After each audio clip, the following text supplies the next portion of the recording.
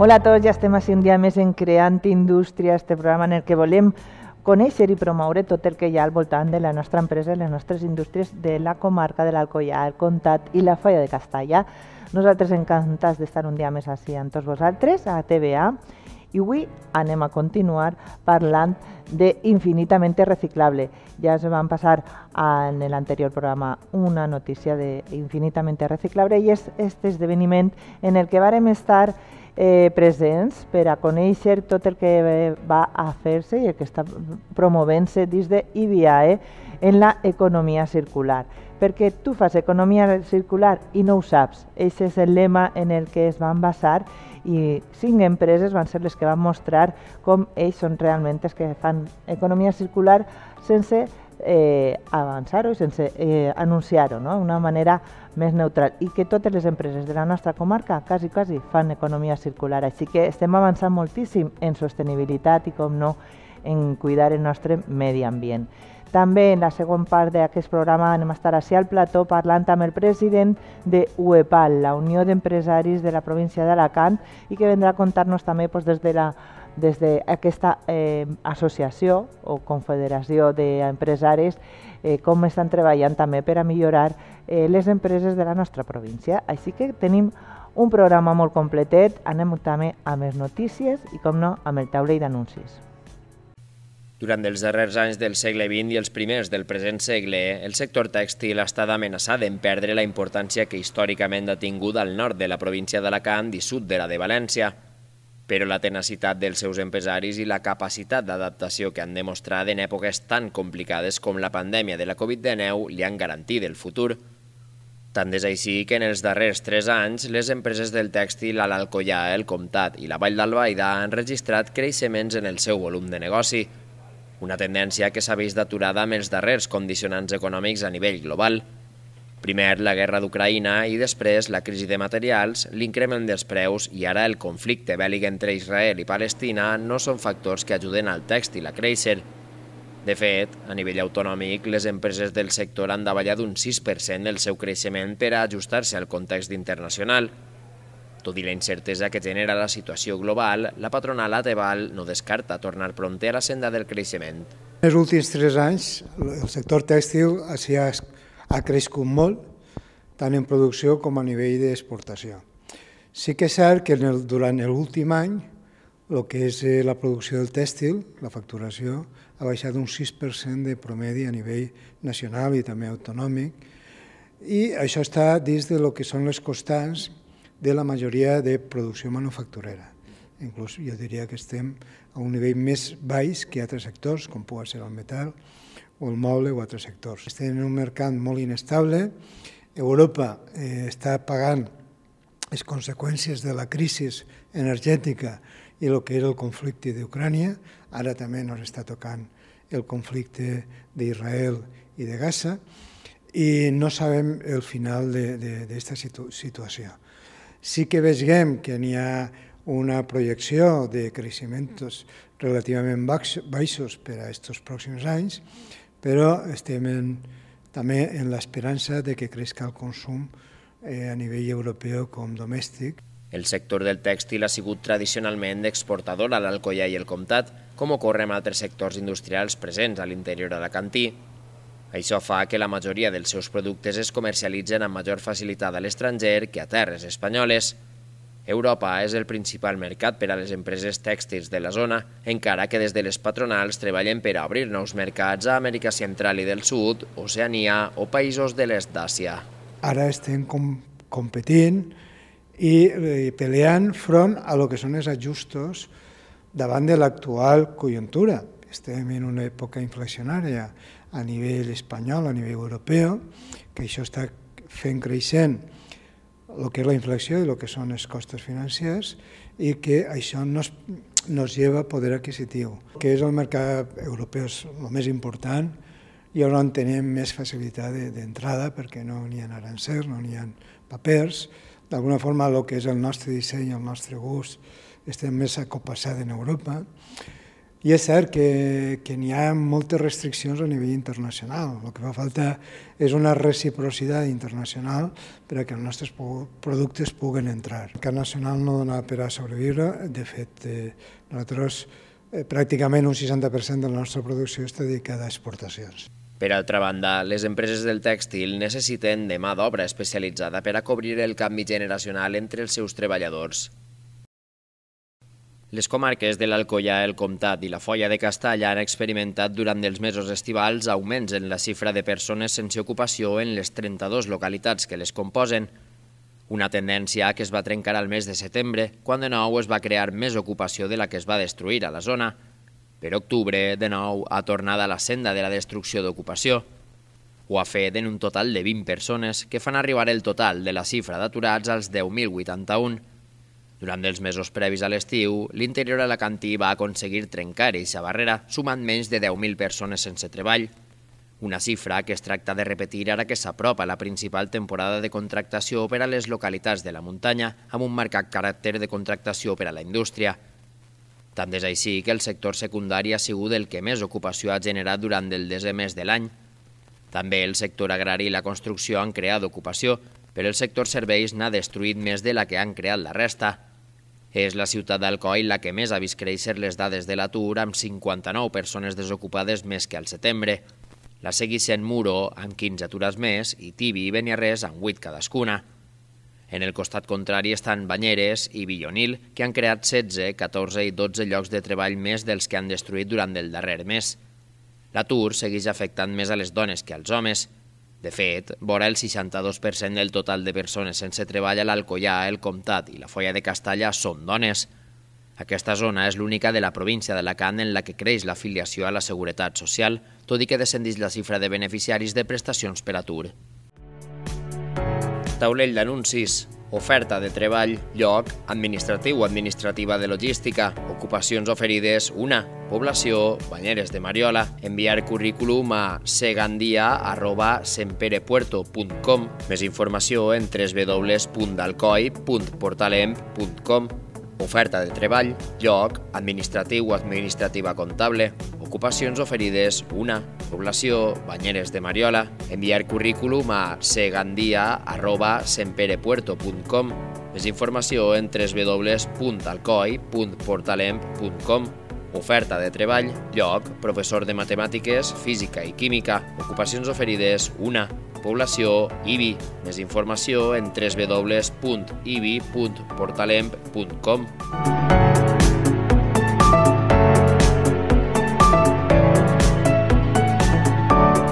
Gran quantitat de les empreses de les comarques de l'interior de la província d'Alacant treballen amb una matèria bàsica per a elles, com és el plàstic. Avui, així, a la Casa de Cultura d'Onil va dur-se a terme una jornada precisament per a posar en valor el valor, valga la redundància, d'aquest eh, producte per a la vida actual, perquè, entre altres coses, eh, no s'hagueren permès tants avanços tecnològics ni científics de no ser per l'existència del plàstic. Un plàstic que, per altra banda, té importants components en quant a la contaminació que ens afecta. Ja sabem que al fil de tot el que té a veure amb el canvi climàtic està molt en boga aquesta temàtica. Per això s'ha organitzat precisament aquesta jornada a la Casa de Cultura per part de la patronal de la Folla de Castellà, d'IBIAE.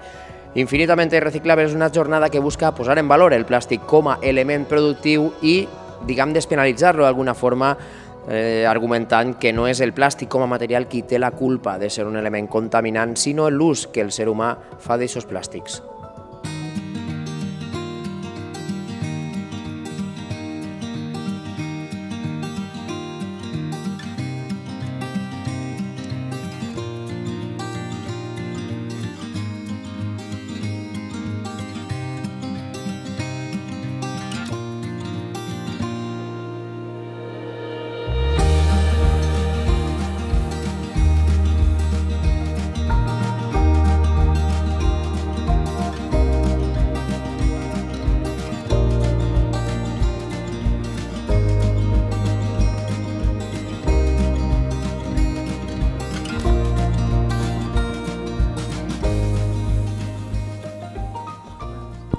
Pues estoy encantada con la invitación. Además, este año, el año pasado, estuve hablando de plásticos, que es un tema sobre el que hace falta muchísima divulgación, porque hay mucha desinformación al respecto. Y este año me invitaron para hablar de ciencia de materiales, como no, porque es mi especialidad, y adaptándolo a, a la economía circular y no solamente del plástico. Voy a hablar algo de plástico, por supuesto, pero de otros materiales que también se pueden integrar en los circuitos de economía circular y con ejemplos de éxito, de cosas que se están haciendo y que hay investigación, pues desde hormigones, materiales celulósicos, os voy a hablar de todo eso. Sí, la economía circular es muy importante y sobre todo entender qué es la economía circular, porque a lo mejor preguntas, ¿qué es economía circular? Y hay quien no lo sabe y quien sabe un poco, a lo mejor piensa que solo es pues que se reciclen cosas.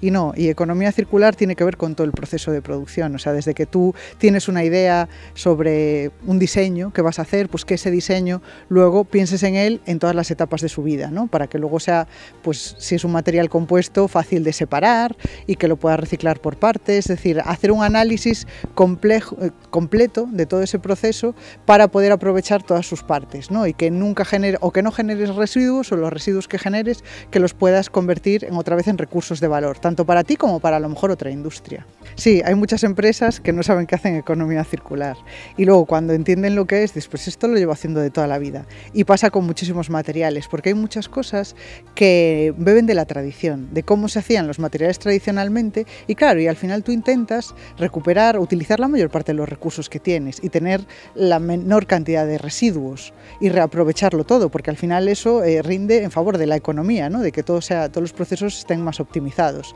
No le poníamos el nombre de economía circular porque esto es algo nuevo, pero ya se hacía para, para, sacar al final el máximo beneficio, tanto para uno como para el medio ambiente. Como, porque para el medio ambiente muchas veces eh, pensamos que un proceso puede ser más caro y demás, y a veces el hacer las cosas más sostenibles o mejores para el medio ambiente también repercute eh, económicamente en positivo. Entonces voy a poner algunos ejemplos a lo largo de la charla de materiales que beben de la tradición o cosas que se hacen y que dices, pero esto se ha hecho toda la vida. Sí, pero eso es economía circular. Sí, bueno, aquí tenéis una industria maravillosa, claro. Entonces eh, hay gente muy potente, tenéis una industria potentísima, entonces se ve que muchas de las cosas ya vienen de raíz. Además, claro, he podido visitar empresas que ya están eh, dirigidas ahora por la segunda generación y entonces ves que muchas cosas hay unos valores que permanecen, de valores de, familia, de valores de, de, atender a toda la región, de colaborar entre todos los miembros de la región y al final esas pequeñas colaboraciones que surgieron una generación atrás, pues ahora lo ves traducido en una industria con un tejido mucho más amplio, más, más pues el residuo mío es un recurso para ti, este tipo de cosas y bueno, me parece maravilloso poder visitar la industria que tenéis aquí. A ver, los plásticos, los plásticos, muchos materiales pueden ser infinitamente reciclables, hay que analizarlos uno a uno. Si pensamos los plásticos, los plásticos es una familia enorme de materiales, no es un solo material. Entonces, hay plásticos que sí que son infinitamente reciclables, como puede ser un plástico PET, el las botellas de agua, como puede ser el polipropileno, el de los tuppers o el de muchos envases, porque son materiales que se llaman polímeros termoplásticos, que esto quiere decir que tú les metes calor, los derrites y le puedes dar una forma una y otra vez. Entonces, en este caso sí que tenemos materiales infinitamente reciclables. Hay otros que no, que se degradan, porque hay, eh, por ejemplo, polímeros que son elásticos, lo que llamamos elastómeros, que ya son más complicados, que los podemos integrar a lo mejor en otros materiales, pero no es muy difícil que estos materiales vuelvan a ser los materiales que eran originalmente. Sí que es cierto que hay procesos de reciclaje distintos, un poco más sofisticados, como el reciclaje químico, que nos puede permitir crear a través de un polímero, acabar llegando a otro incluso diferente, ¿no? de un plástico llegar a otro. Y la idea con infinitamente reciclables es estudiar al final eh, todas las posibilidades que tienen los materiales, no solo los plásticos, sino que es infinitamente reciclable hasta un hormigón, hasta una madera, porque si tú estudias el proceso de cómo puedo volver a utilizar ese material para lo mismo o para una cosa diferente. Es decir, darle cuantas más vidas, mejor. Ese es el concepto de que algo sea infinitamente reciclable.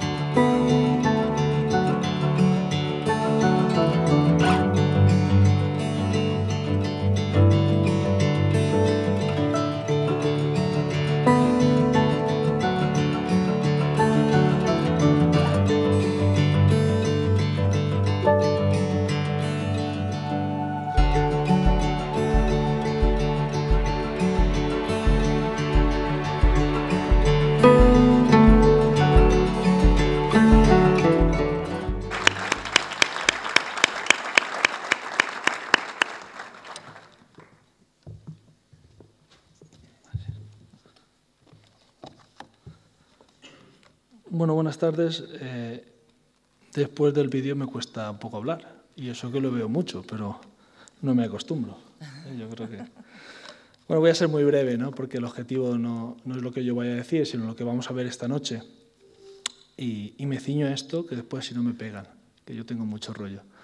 Bueno, buenas tardes a todos y bienvenidos. Eh, agradeceros vuestra presencia hoy aquí, tanto empresarios como estudiantes eh, de ciclos de formación profesional. Eh, agradeceros eh, la presencia hoy aquí en ONIL. Como bien ha dicho Rosana, el año pasado la edición primera la hicimos en, en IBI, esta segunda la hemos querido traer a ONIL y agradecer a su alcalde y a su equipo, a su corporación, la, la cesión de las instalaciones y toda la ocupación que lleva. Gracias, Rubén. Y bueno, eh, sobre todo el, el, que esté yo aquí es para contaros la implicación que tiene IBIAE con el tema de la economía circular, que es lo que nos va a tratar hoy aquí. Vamos a dar un siguiente paso, eh, vamos a hablar de materiales y de, sobre todo de economía circular. Y bueno, los retos que IBIAE tiene en esto. Eh, aquí me han hecho una lista de, de, retos que yo los voy a reducir muy rápido. O sea, yo creo que eh, para el objetivo de IBIAE es entre ellos divulgar el tema de las buenas prácticas y, y los ejemplos que empresas ya están haciendo, y de eso va a tratar un vídeo que vamos a ver después. Eh, fomentar la, la, implantación de la economía circular. Creo que la economía circular, para quien no lo conocéis, es la nueva economía. Creo que va a ser eh, una, un gran eh, cúmulo de oportunidades que se presentan. Nosotros tenemos el espíritu de crear grupos de trabajo, de que se aprovechen sinergias entre unos y otros, porque veréis que la economía circular, como bien dice, es un círculo y, y al final con, consiste en colaborar y en aprovechar lo que uno no quiere para que otro lo utilice. Y bueno, y sobre todo lo más importante para nosotros es que esta comarca, esta comarca que tiene, es un territorio industrial muy potente, eh, pues bueno, cuando se habla de economía circular, eh, bueno, también seamos un referente, que lo somos y lo veréis en los vídeos. Nos vamos a dar cuenta de, eh, creo que se decía, ¿no? Hace, tú haces economía circular y no lo sabes, ¿no? Eso es un poco la reflexión que vamos a hacer hoy aquí. Sobre todo para que de aquí nos vayamos todos con la idea de que no está tan lejos, no es solo para grandes compañías o para grandes multinacionales, que también, sino cualquiera desde su pequeña casa o desde su empresa lo puede hacer y lo puede aplicar. Y, saltándome todos estos folios que tengo, sobre todo aprovechar la oportunidad. Y, y, creo que es una, lo he dicho antes y lo vuelvo a decir, y, y los que me habéis escuchado alguna vez lo repito muchas veces, la economía circular viene para quedarse. Irá más lenta, más rápida, pero creo que es una oportunidad y bueno, y de oportunidades yo creo que aquí en este territorio se conoce mucho y bueno, y nuestro objetivo de hoy es lanzaros estas pinceladas, demostraros que hay gente haciendo economía circular y que a partir de mañana reflexionéis sobre eso y lo apliquéis. Y lo más importante, que lo comuniquéis también, porque muchas veces lo hacemos dentro de nuestra casa, dentro de nuestras empresas y el no comunicarlo parece que no lo hacemos y eso es mentira. Por tanto, yo os animo a, a que sigáis con estos vídeos que vamos a presentar agradecer de aquí a todos los que han participado y bueno y después también a Débora eh, la presencia hoy aquí que, que, bueno es un placer que nos hagas un hueco en tu agenda ¿eh? y que puedas estar aquí con nosotros. Lo prometido es deuda no me enrollo más y que siga el evento. Gracias.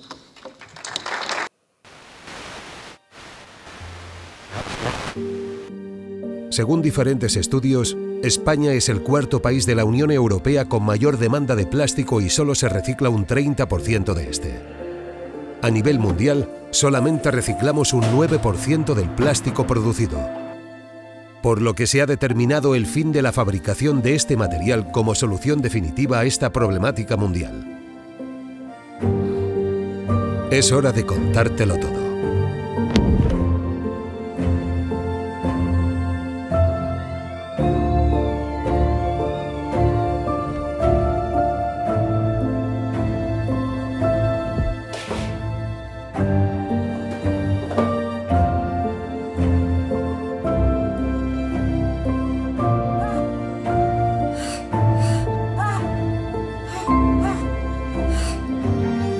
El verdadero reto es trabajar todos a una por un uso responsable y consciente de los plásticos.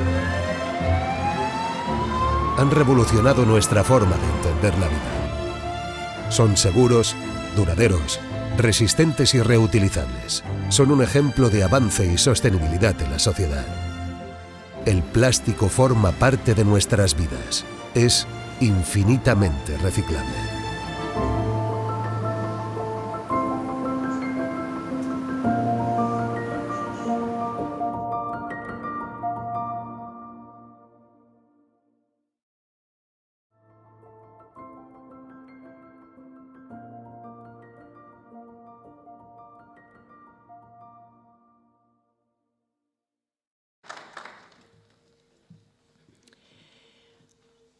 Bien, eh, lo que queremos es hacer un reconocimiento a esas cinco empresas que han participado en esta campaña. Vamos a ir llamándolas para que suban el escenario un representante de esas empresas, ¿vale? Y luego nos haremos una foto de familia. En primer lugar, Power.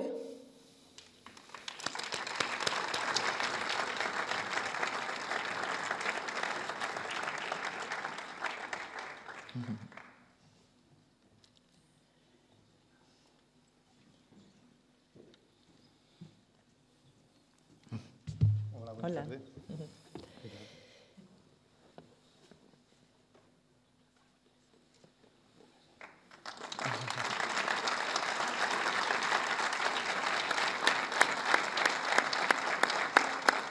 Pepri.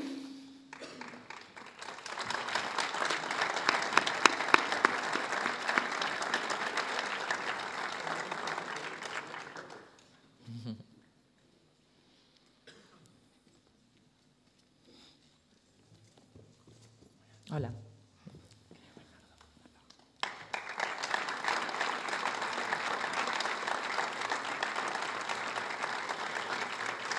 Cork. Cork. No están. De Recirculars.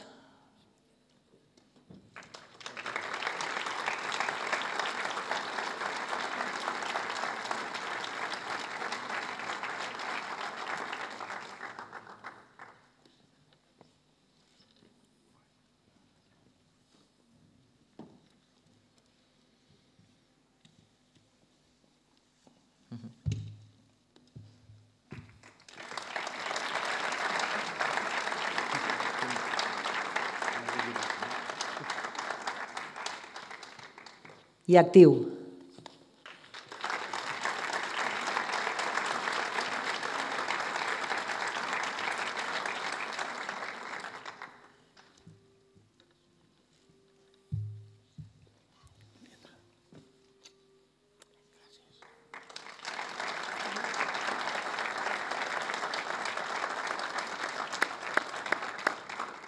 Pues ahora sí, foto de familia, juntáis todos.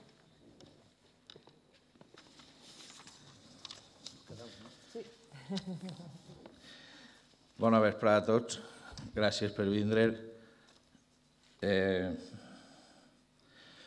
M'ha emocionat veure tanta gent jove. Crec que, crec que és molt important. Simplemente quería agradecer la participación de estas empresas, de Actiu, de Power, de Excellent Corp, que no nos acompaña, de Recirculars y de Pepri. Gracias por compartir algunas de las cosas que hacéis en Economía Circular, porque hace que el resto nos obliguemos a pararnos unos instantes y reflexionar sobre todo aquello que estamos haciendo en esta materia y que seguro es mucho. A veces nuestro día a día nos, nos juega la mala pasada, no, realmente no, no nos damos cuenta de lo que de lo que estamos haciendo. Y efectivamente yo creo que la mayoría de las empresas de la FOIA, pues de alguna manera u otra, pues hacen lo que estas empresas eh, muy amablemente nos han mostrado. Eh, yo voy a ser más breve que Héctor. Y, pero no quiero dejar de agradecer a, a Débora García que esté aquí con nosotros. Su presencia es importante Creo que dejaste una buena huella el año pasado y espero que no sea la última vez que nos acompañes. Bienvenida y vamos a continuar con, con este acto. Gracias.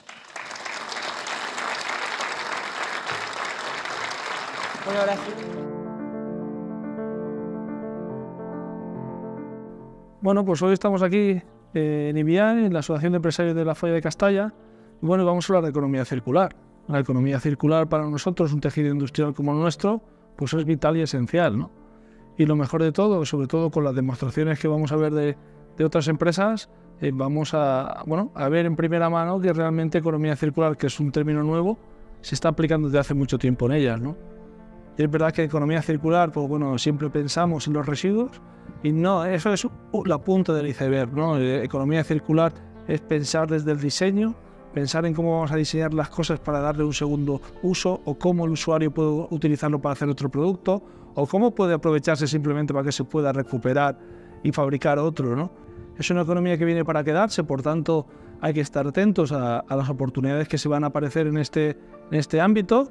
Son eh, bueno, eh, cosas que van a venir eh, muy recientemente, algunas ya están llegando, como la huella de carbono, las emisiones, estamos hablando del que el consumidor ha cambiado su percepción de los productos y todo esto poco a poco nos va llegando. ¿no? Bueno. Soy Fernando Casado, responsable de Economía Circular en IBI. Desde el año 2017 estamos haciendo una serie de actividades para el fomento y la difusión de la economía circular entre los asociados. Una de las cosas que nos dimos cuenta es que lo que son los paradigmas de la economía circular ya se estaban aplicando en la folla de Castalla y muchas empresas estaban haciendo cosas sin llamarle economía circular y sin poner en valor a la economía circular. De ahí surge hacer un vídeo en el cual una serie de empresas expliquen cuáles son sus proyectos y cómo los están ejecutando para poner en marcha eh, actuaciones reales de economía circular. Por tanto, lo llamamos o decidimos llamar tú haces economía circular y no lo sabes.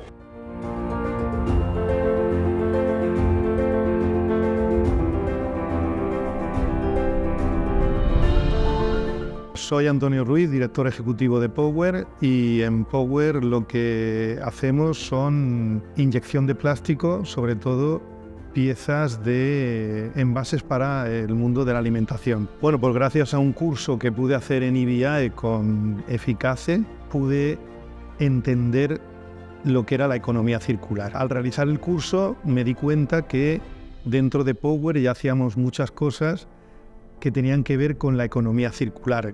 Ya diseñábamos, ya fabricábamos, por ejemplo, moldes intentando mm, utilizar los mínimos recursos o que a la hora de inyectar estas piezas eh, generaran los mínimos desperdicios. Viendo que nosotros fabricamos envases de este tipo, pues eh, nos dimos cuenta que al igual que fabricamos estas piezas y las tratamos bajo una normativa BRC y luego envasándolo, por ejemplo, en cajas con bolsas, etcétera, etcétera, pues vimos que las piezas que nos saliesen mal, pues también podríamos guardarlas para que eh, a posteriori poder utilizar este material para volver a hacer envases. Si bien no serían envases eh, destinados a la alimentación, sí podríamos hacer otro tipo de piezas que no tuvieran este requisito. Otra de las cosas que eh, estamos haciendo en Power y no lo sabíamos hasta que hicimos el curso con Eficace es que nosotros para refrigerar los moldes y las máquinas utilizamos pues, un sistema de agua que circula a través de unos circuitos y eh, se enfría con unos sistemas de refrigeración. Como tenemos exceso de, de estos friocalorías, lo que hacemos es reconducir el frío sobrante hacia la planta y a través de unos sistemas de fan lo que hacemos es acondicionar la planta. Mi nombre es Fernando Montilla, eh, trabajo en PEPRI-SL, en la administración. Somos una empresa que, se dedica a la fabricación de, piezas eh, plásticas por moldeo soplado. Lo que llevan haciendo durante 20, 30 años eh, es reciclar, reutilizar todo el sobrante de, de, las piezas. Como bien he dicho, por poner un ejemplo, tienen siempre un recorte, lo quitamos y lo volvemos a utilizar eh, mediante bueno, citas transportadoras que lo llevan a unos molinos, lo trituran, que vuelve otra vez a, a la tolva para, para, aprovechar todo el plástico. El 100% del plástico que utilizamos en la producción se reutiliza. Nosotros le mandamos nuestras propias cajas a los clientes y ellos siempre para la próxima producción, cuando nos mandan si un colorante o alguna pieza complementaria de, de su propia pieza, aprovechan y nos mandan las cajas que ya le han mandado para volvérselas a, a llenar con sus productos. Eh, pasa lo mismo con los palets y con los sacos que siempre, siempre intentamos que sean de, plástico reciclado para darle mayor vida. Eh, también hemos implantado un sistema ERP para, para el control de, del tiempo de, de, los ciclos de la máquina, para estar seguros siempre que todo funciona como debe de ir, no perder ningún tipo de tiempo, intentar eh, no desaprovechar eh, ninguna, ninguna producción. Soy Alberto Hernández, soy adjunto a dirección de la empresa Excellent Cork nos dedicamos a la fabricación de tapones sintéticos para vino y licor principalmente, aunque también estamos en otros mercados como el de la Home. Bueno, partimos de que los tapones sintéticos se fabrican con material 100% reciclado y en cuanto a la huella de carbono, llevamos 5 años midiéndola y en el último trienio hemos conseguido reducirla un 7,5%. Esta reducción se ha podido realizar gracias a las inversiones que se han hecho en la compra de maquinaria mucho más eficaz y eficiente donde también hemos cambiado toda la luminaria de, las, de, la, de la planta por sistema LED y las lámparas de secado UV también las hemos invertido para cambiarlo a un sistema eh, LED de secado. Hemos generado una línea de trabajo de inyección no food donde todo nuestro scrap lo estamos utilizando en tapones para home fragrance, los micados, los llamados micados. Eh, desarrollamos, diseñamos junto a nuestros clientes el tapón dúo, Tapón dúo tiene un doble diámetro que eh, permite retapar las botellas. Mi nombre es Ignacio Guillem, CEO de la compañía de Recirculas. De Recirculas es una startup que está totalmente focalizada en el desarrollo de tecnologías que puedan dar soluciones reales y económicamente viables en la recaptación y recirculación de residuos. Por lo tanto, de Recirculas no trata residuos, estamos focalizados en la generación de tecnologías que posteriormente puedan ser vendidas a empresas o administraciones públicas, para que estos puedan gestionar correctamente la recircularidad de los residuos generados y que puedan convertir estos en recursos de alta calidad con múltiples vidas. Tenemos varias vías de desarrollo con grandes perspectivas sobre ellas. La primera es TR Recapture, una solución tecnológica respaldada por tres patentes, válida para todas las fracciones de residuos, que integra tecnologías como RFID, visión artificial, inteligencia artificial, rayos X y Big Data, incentivando la economía circular. La segunda es TR Recirculation Plastics, una tecnología patentada diseñada para que los residuos plásticos bien separados por parte del ciudadano o por parte de las empresas puedan ser descontaminados correctamente, para tener una nueva vida como plásticos reciclados, que se pueda cerrar el círculo y que estos puedan ser utilizados en nuevos envases alimentarios. En la actualidad, estamos viendo que los problemas de suministro de materias primas cada día son mayores. Creemos que es deber de todos avanzar en un mundo donde los residuos se conviertan en recursos. Soy Carmen Berbegal y soy la directora de responsabilidad social corporativa en Activo. Eh, soy también parte de la propiedad de la empresa y soy la segunda generación de, este grupo industrial que se dedica al amueblamiento de espacios, de oficinas y de contra. Eh, en este caso, nuestra empresa es una empresa eh, que tiene unos valores muy arraigados. entre los seis más importantes está la sostenibilidad. Y este valor es un valor que está adquiriendo en los últimos años una dimensión más importante.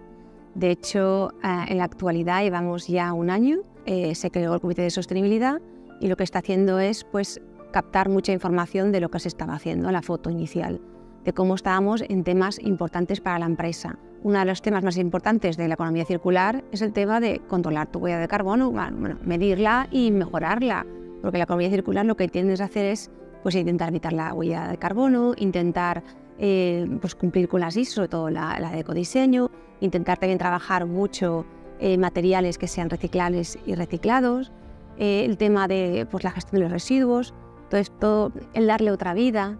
Y eso es algo que en el curso sí que a mí me quedó muy, claro, el, cómo darle una segunda vida a, a tus productos, hacer más con menos, intentar generar el mínimo residuo posible, el generar las mínimas mermas posible, porque esta, esto sí que es economía circular. Hay que ir un poquito más allá, no es solo utilizar producto reciclado, que sí, es generar el mínimo de mermas posibles. Y para ello es muy importante controlar los procesos de producción, la planificación de los procesos de producción y, es ahí donde hay que hacer el esfuerzo. El mundo de la economía circular es un mundo de oportunidades. La economía circular nos muestra un camino conocido, pero que todavía queda mucho por explorar por su rentabilidad económica y por las oportunidades. Si a esto le sumamos la unión y la participación de todos los actores clave, como en este caso serían las empresas, pues se crea el ambiente propicio para un desarrollo exponencial y un impacto positivo en la zona de la Folla de Castalla. ¿Y tú? ¿Haces economía circular? Seguro que sí, pero no lo sabías.